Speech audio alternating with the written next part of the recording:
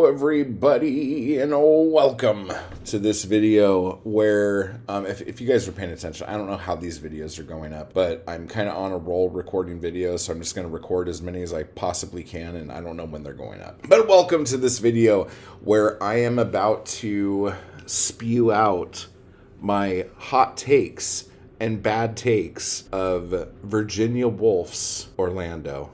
Sorry, I forgot the name of the book for a minute. Jesus fucking Christ. You hear the name over and over and over and over and over again. You're like, the book was called Othello. Nope. The book was called Oriander. Nope. The book was called. I didn't know what to expect because this is my first experience with good old V. Woolf. Okay. I don't really know what to say about this book without giving everything away.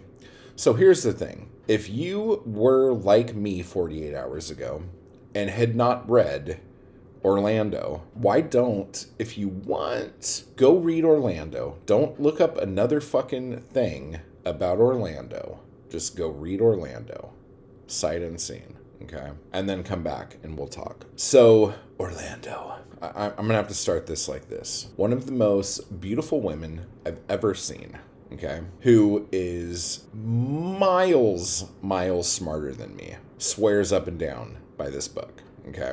I'm probably overselling the swears up and down on this book. She really loves this book and highly recommended it to me. Like a good little simp, I fucking, I'm like, I'm, I'm definitely gonna read this book right now. Okay. After this video, I don't know if she'll ever talk to me again. no, it, it's not that bad. It's not that bad. I almost think that Virginia Woolf was too clever for her own good. Okay. And since this was the first Virginia Woolf book I read, I didn't know if I was reading someone who was not a very good writer or if she was dropping hints. Okay. And then after you read the book, you realize, oh, she was just dropping hints and thought she was being clever.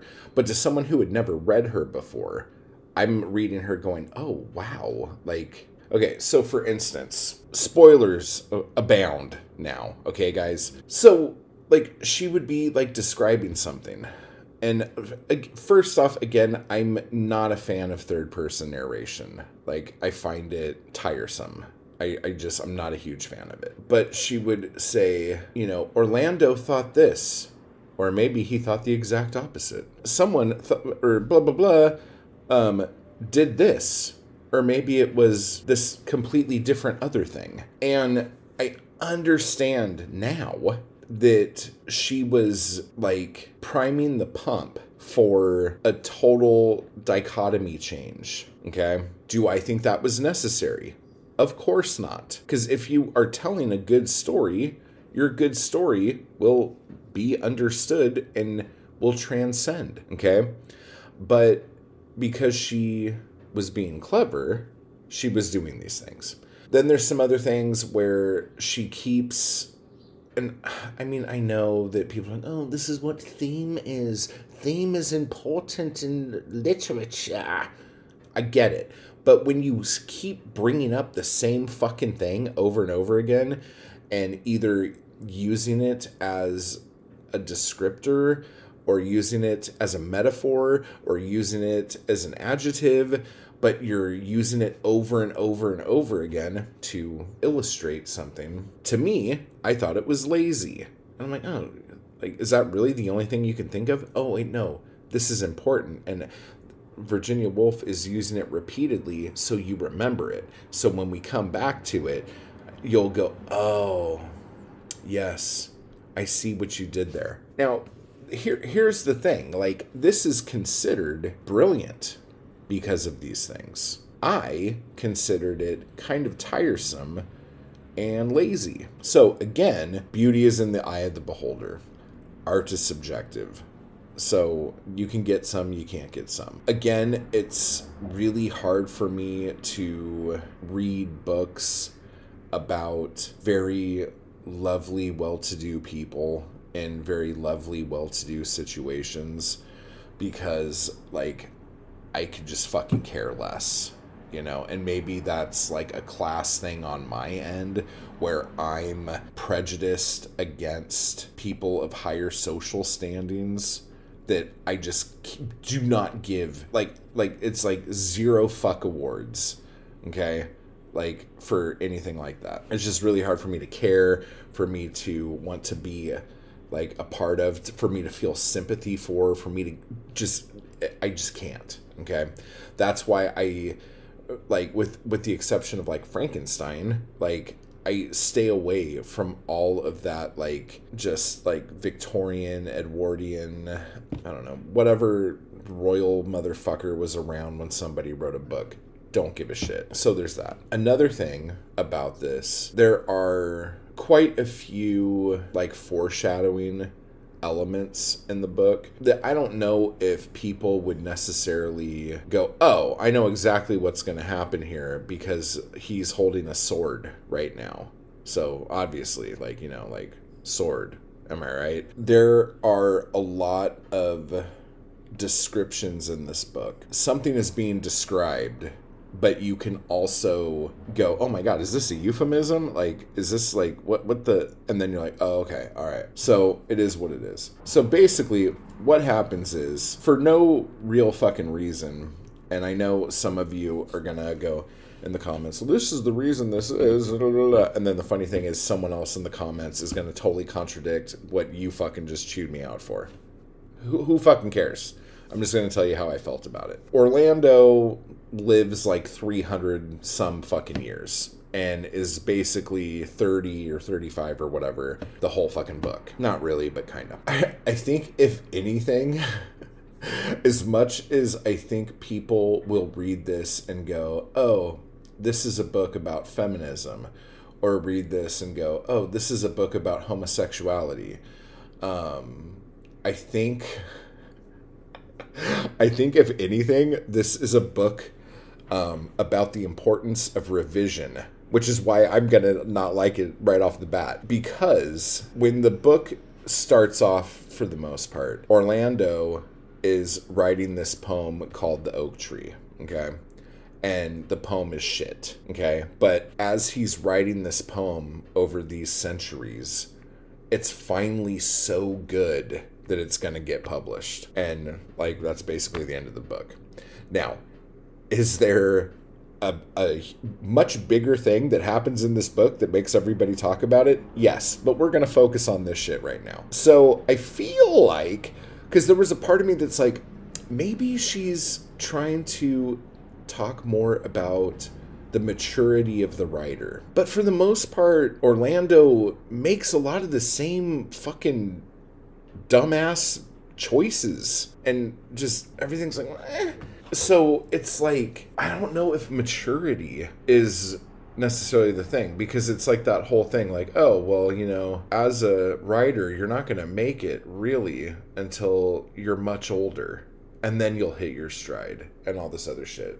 And then just like the fucking analogy of the fucking oak tree whatever. It, it, it's like okay i understand it's fiction whatever but say what the fuck you mean like, why do you have to shroud every fucking thing in like constant metaphor? And like, honestly, if you were to just take the things that happen in this story and you were just like making like a beat sheet like something you would use to like let somebody know like what the parts of the story are and like what are the things that happen if you looked at it like that this would seriously sound like one of the stupidest, like not an actual story stories that's ever been written.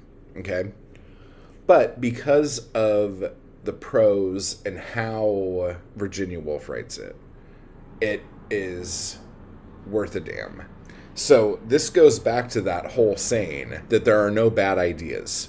Because honestly, if this idea could become a classic. All you have to have is talent.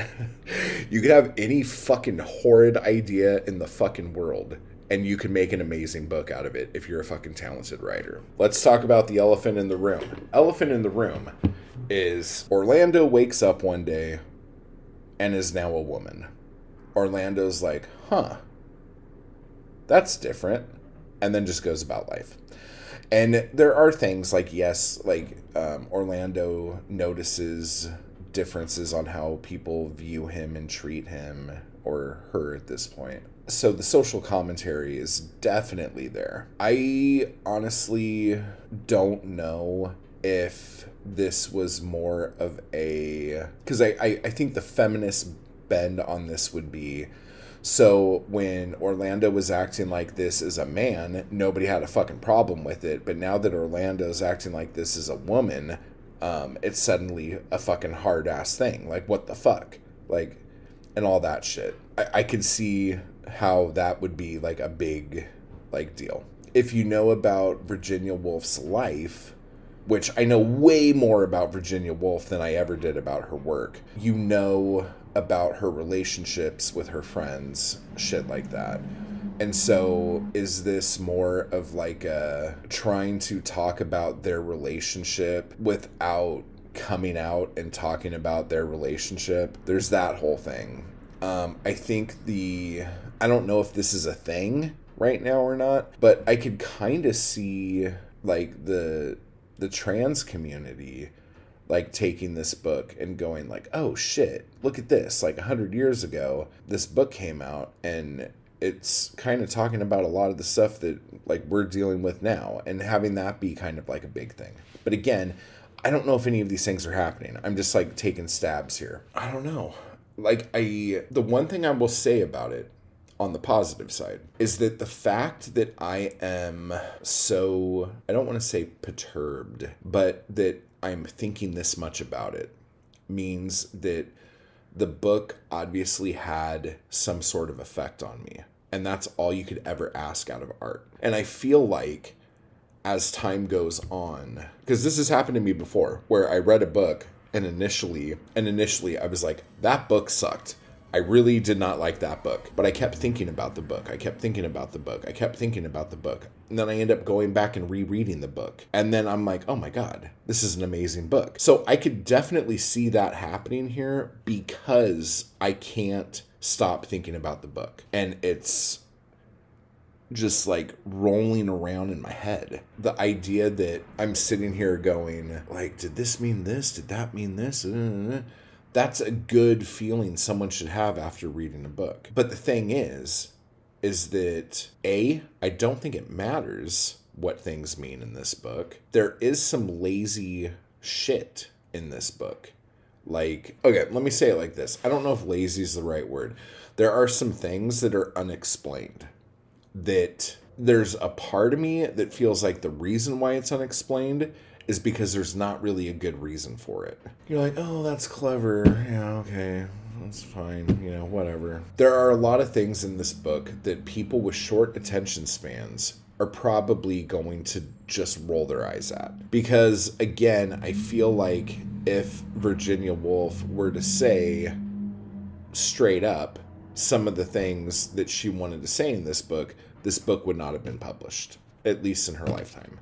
So there, one of the reasons why she plays around and toys around with shit might just be to get around censorship and like obscenity laws and shit like that. Whatever, I don't know. I don't know. Maybe I should like research this more and do like a more thought out video. I'm just giving you my first impressions and shit like that. If you guys know, like I said earlier, like you guys are to leave fucking stuff in the comments and then someone's to contradict what someone else said, whatever. Um, that's just how things like this go. So if there's stuff that you would like to say about this book, and um, you want to have a conversation about this leave it in the comments down below and we can start there and see how that goes. I just i just don't know. Like i first impression i didn't like it but i'm still thinking about it. And this is one of those books where i don't think i'm not going to remember it. Like there are times where i read a book and like i'm like oh that was really entertaining. That was fun. And then like the next day i don't even remember what the fucking book was about. Okay? This book was not fun I did not enjoy it when I was reading this book. I did not enjoy myself when I was reading this book. I was just like, fucking come on. It's in my head. It's in my head. I don't know. I don't know what to tell you. So let me know what you think. Keep buying my books. Type hard, everybody, and I will talk to you all later. I just want to give a quick thanks to those people who make these videos possible. Anarchy Crew and my followers on Patreon. I appreciate the hell out of you guys. And Thank you so much for keeping me going to keep this content possible. You guys are awesome. And if you'd like to join the crew or the Anarchy Crew, just hit the join button beneath this video. And if you'd like to become a member of my Patreon, you can run over to the link down below to do that as well. Thank you.